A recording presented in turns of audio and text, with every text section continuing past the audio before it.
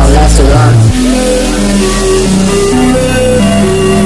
Looking at old pictures that we took and then I rip it up, I ripped it up, I ripped it up.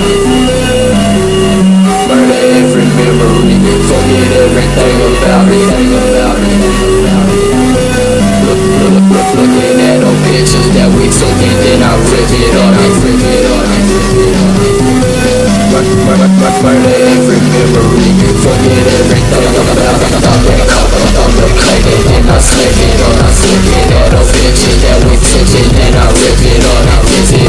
like fifteen-year-olds kids who on your mouth, cause your casket, pick it up and I gotta take you out and turn it out. Remember everything about it.